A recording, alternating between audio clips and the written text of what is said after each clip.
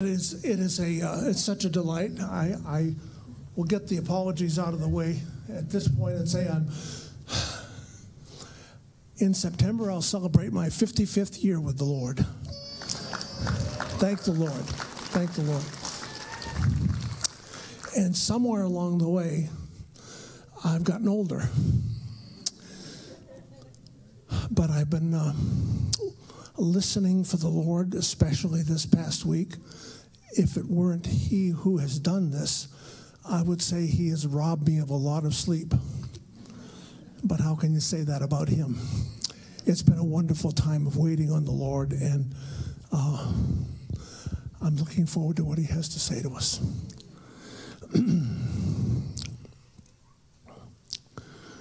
yeah. Excuse me.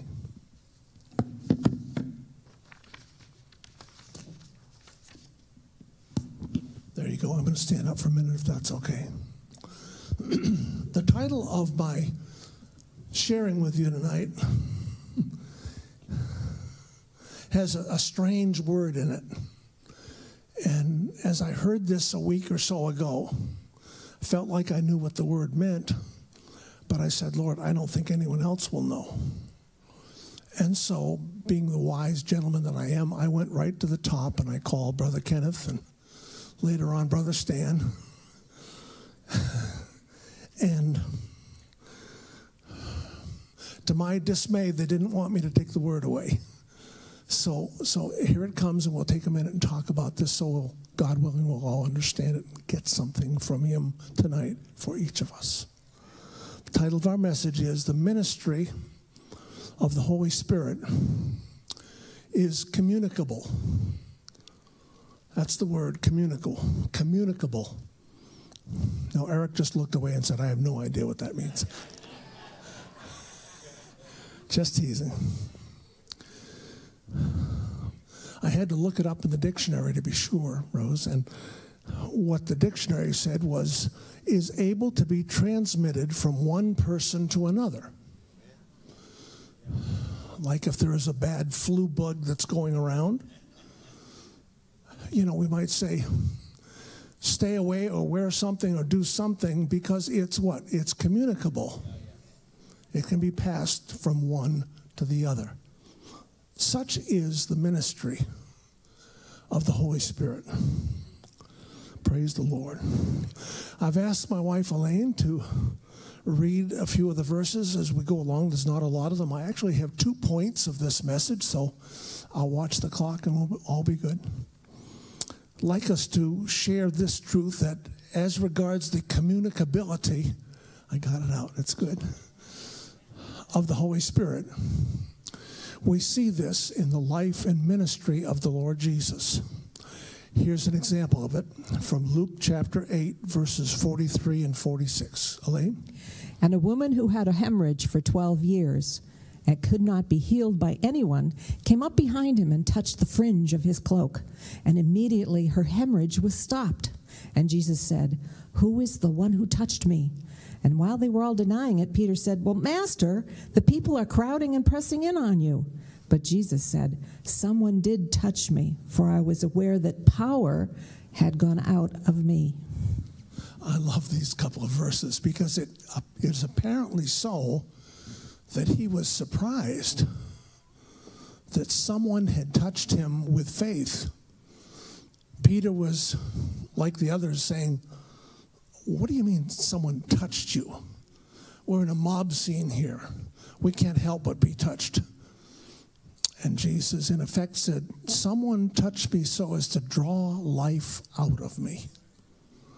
Now, what that says to me is something I love to think about, and I'm challenged to think about it for us. There is a measure, a deposit of the Holy Spirit who is in you that is not for you.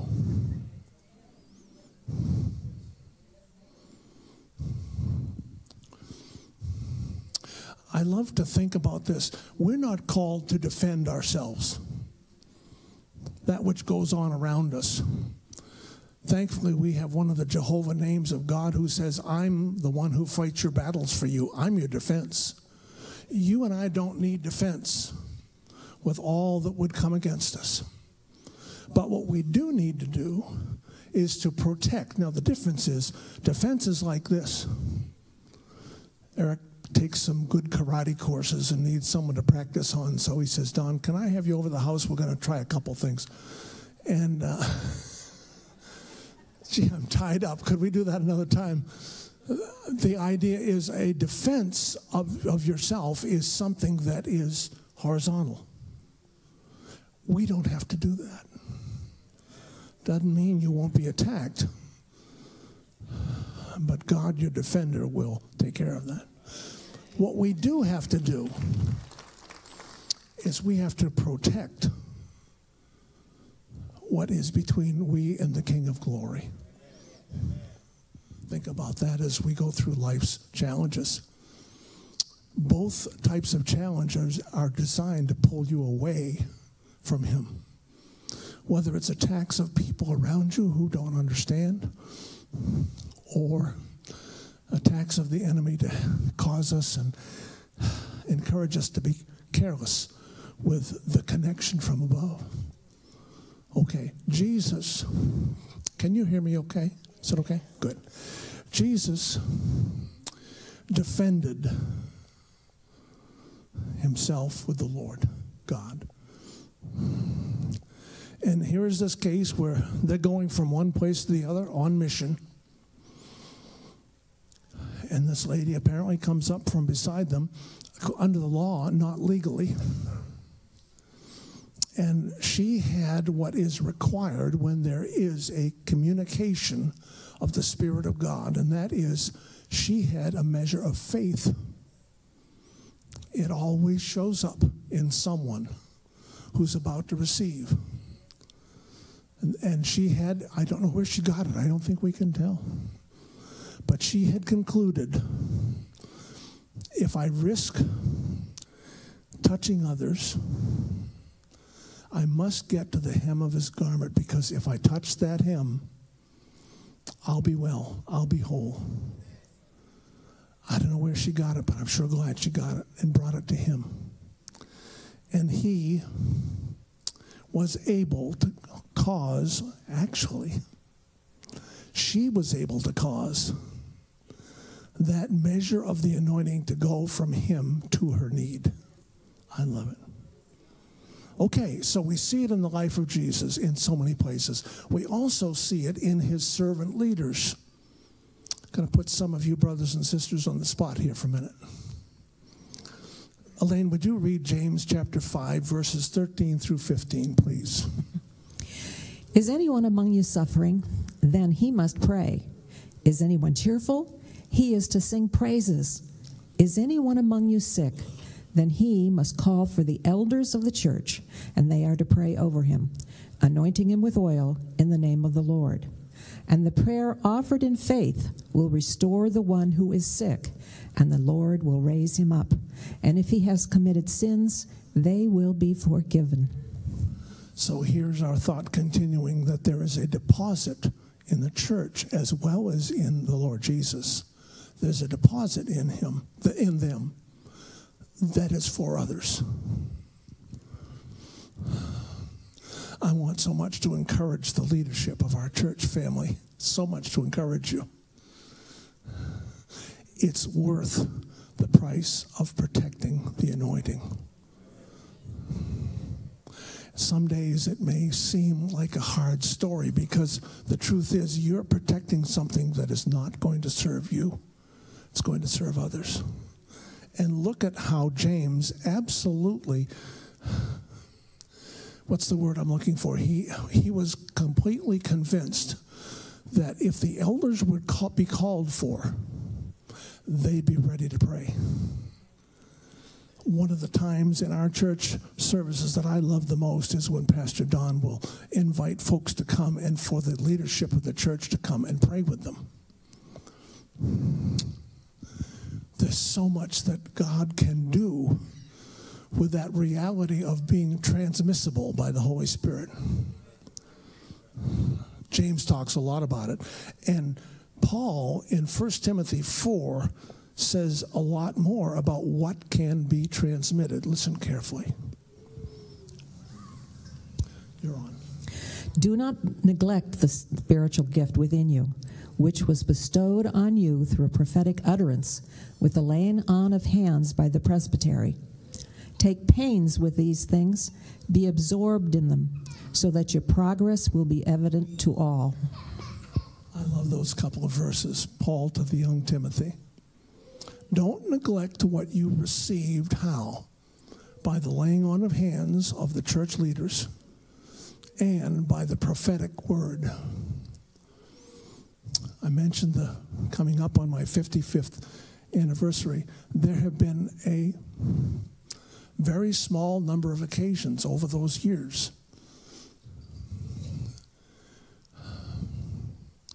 Way back in the early 70s, a, a brother came to us. We were living in a little town called Laconia, New Hampshire. We had just begun a new church at the time called New Christian Fellowship. And a brother showed up on a Sunday morning whom we did not know. And he had been referred to us, and we had been encouraged to let him share, have him share.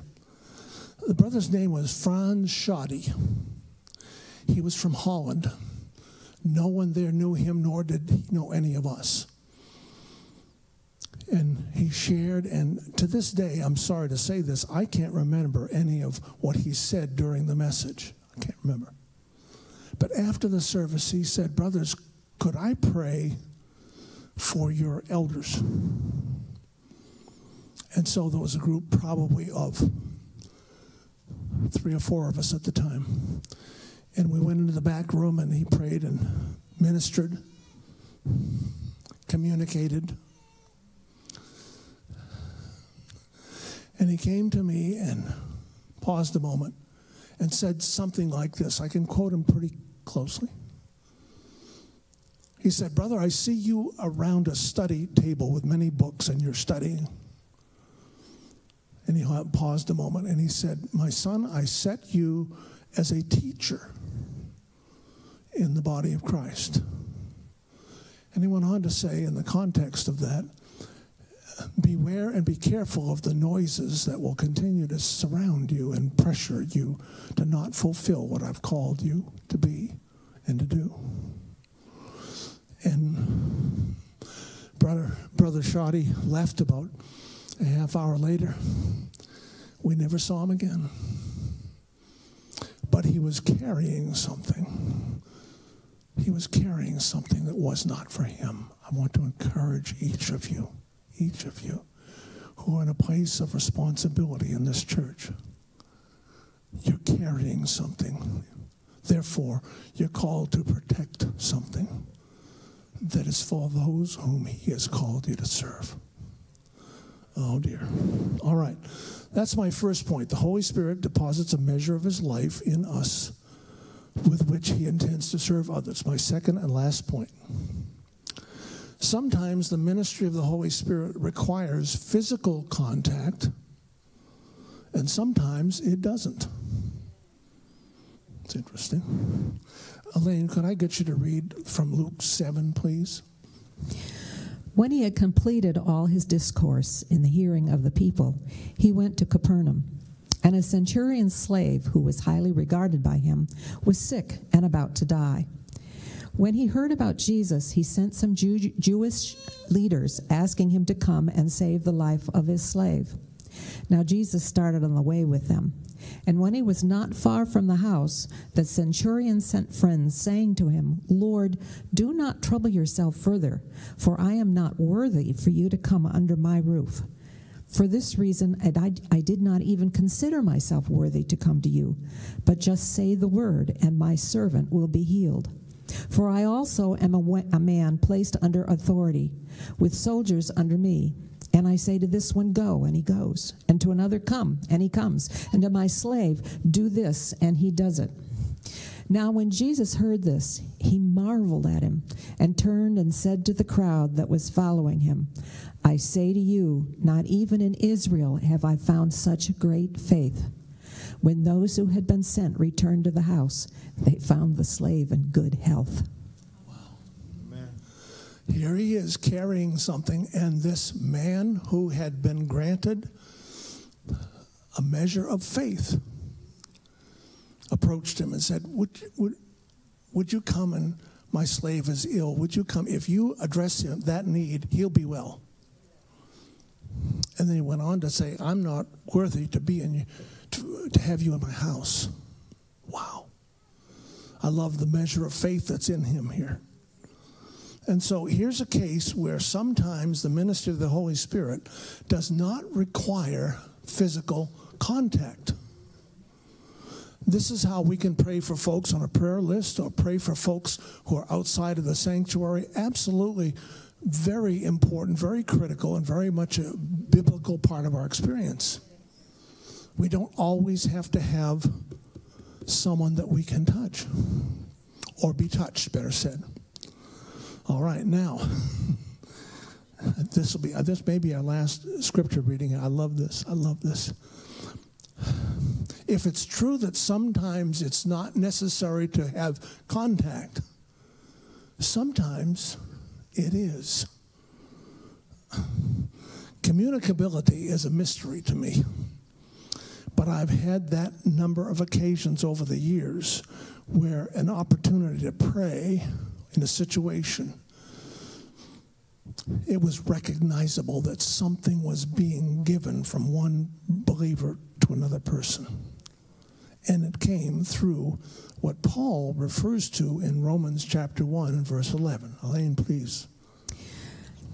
Paul's writing to the church at Rome from Corinth, and he, he writes, For I long to see you so that I may impart some spiritual gift to you, that you may be established. That is, that I may be encouraged together with you while among you, each of us by the other's faith, both yours and mine. There's, there's so much to look at here. Paul is, is writing the letter to the Romans. He is actually writing, as far as we know, from Corinth.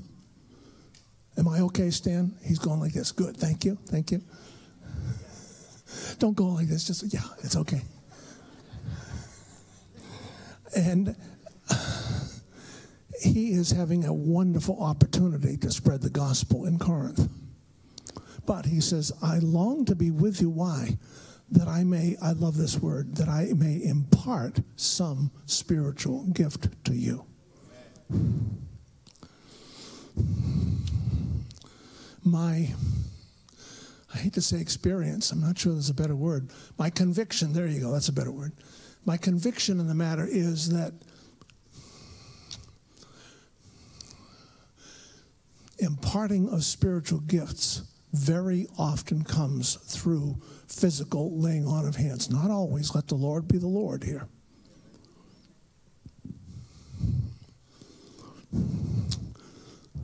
There's something about laying on of hands goes all the way back in through the Old Testament and the Mosaic covenant and much of the ceremony therein that became the reality of this wonderful truth the communicability of the Holy Spirit. I want so much to encourage. Said this, I have to say it a second time. Our leaders in this church. Sometimes when you come forward for prayer, the Lord will point someone out to you. And He'll say, Son, I've got something that I want to give to that person, whatever it might be. Other times you'll come and present yourself to be a vessel of service and you won't see anything. But what often happens is those who are coming will have a measure of faith to receive what the Lord has spoken. Yeah. It, both and are they're both legitimate, absolutely um, important, not the right word. They are the way faith operates, and that is faith will come sometimes to the recipient and sometimes to the one who's giving. I love. I have to pick one word out of this last text from Romans 1:11. Thank you for keeping that up there. Where the word is that I may impart. Ah, I love this word. The Greek word. I'm no Greek scholar, but I can look up in a good interlinear to see what it says. The Greek word that we see as impart here is the same word which we translate as give. Give. And it's interesting to me, oh dear, Elaine, this will be my only rabbit trail, I hope. Just, you know, she said, don't go on rabbit trails. trails. Well, I have to go here for just a minute. Tim, you may have to take that mic away from her. but there is a spiritual gift of giving. Yeah? And I think sometimes we underestimate what that is. I'm not at all contrary to the giving of resources. Absolutely not. But I, if, if the word giving and imparting is the same word, it's the same substance of reality, I think there is a spiritual gift of imparting others spiritual gifts. The gift of giving. It goes beyond the material. Can you, can you see that? Stan, are we okay with this? I've seen in from time to time, not necessarily so and so is called to have this gift of giving or this gift of impartation. But there'll be times when God will say, okay, Tim, sorry to pick on you, your front row. Oh dear. You don't have to have operating in your life what God can use you to impart to another brother or sister. You don't have to be a prophet to impart the gift of prophecy to another person. Wow. I love that. That helps me to not worry about everything that I'm not.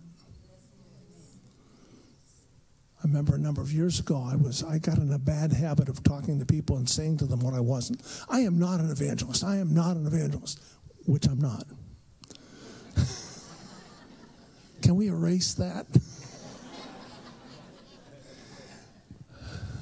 and one day I felt like the Lord, Lord whispered in my ear, Don, stop talking about what you're not, because I'm not through with you yet.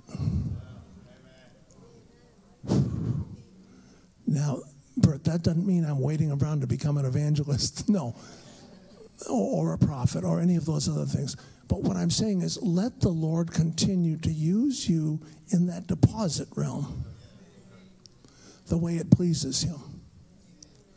The capacity that you have to serve, all right, here, listen now. The capacity that you have to serve is not limited by who you are it's only limited by the one who dwells in you, who has no limits. Oh dear. I love that. And so Paul says, I'm wishing I could be with you to put hands on you, to prophesy, if you will, to speak forth, to impart, if you will give me back the word, to communicate giftings of the Spirit of God. He says, he goes on to say, two things are going to happen. You're going to be encouraged, and so am I. Wow, it's good. About, I want to tell you a little story about the moving of the Spirit of God, if I may, the communicability of the Spirit of God. I believe it was about four years ago. I was sitting in a hospital room in um, Manchester, New Hampshire, thank you. And I required gallbladder surgery, and I also required removal of a large kidney stone. I'm sorry to be so earthy about all this, but that's what it was. And in the midst of that, I developed a terrible blockage of my stomach and intestines. And one of the doctors came in, he said, We don't normally deal with three different things at once, but we can't deal with those other two until we do something with this. And so I, sorry, I had this tube put down my throat. If you ever have not had that done, don't do it. and uh, I'm lying there, not able to eat or drink, or wondering where we go from here, this side of pretty major surgery. Two of our brothers came in from the church, both elders, one an elder pastor. I knew them both intimately for many years. They came in to see me. And I was glad to have them there. And they talked a while and they said, Well, before we go, we want to pray with you. I said, Absolutely. So I'm lying down, and they got up and they started to move toward me. And I, have never, I say this because it's the truth, I've never heard the Lord audibly, but there are times when I've heard him and I know what he just said to me. And he spoke four words as the brothers have gotten up and they're moving toward the end of my bed. He spoke four words to me. Here's the words These, speaking about them, these are sent hands. Wow. Now, to this moment, I don't know what they might have heard as far as how they were to pray. But I stopped them. Hold on a minute. The names were Percy and Ed. And I said, before you pray, let me tell you what I just heard. And I related that to them. I said, now, before you pray, I want to pray. And it was a very simple, halting, sincere prayer. I said, Father, I receive my two brothers, and specifically their hands upon me, as if these are the hands of Jesus. Ah. They prayed. We said farewell and see you later. At that point, I was looking at the possibility of surgery before the surgeries. Within, it was somewhere between 30 and 45 minutes, everything in my insides just started to function properly.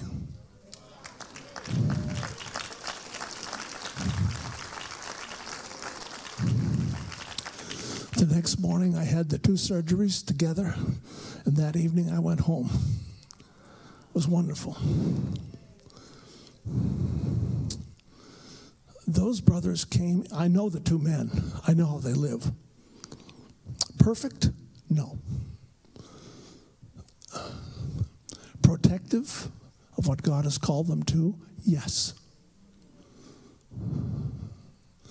And, and once in that situation, the Lord could have spoken to them and said these same four words. Said, Don, let me tell you what the Father has just said to us about our hands here. Why he spoke to speak to me and not them, I don't know. But the Word of God brings faith. What does the scripture says? Faith comes by hearing, and hearing by the Word of God. Quick little Greek word lesson there. The, that word worth, or, excuse me, word is the word rhema, which is the, primarily the spoken word. I'm so thankful for it and for those brothers and for that provision. One more story. Oh, Elaine. I think you're going to.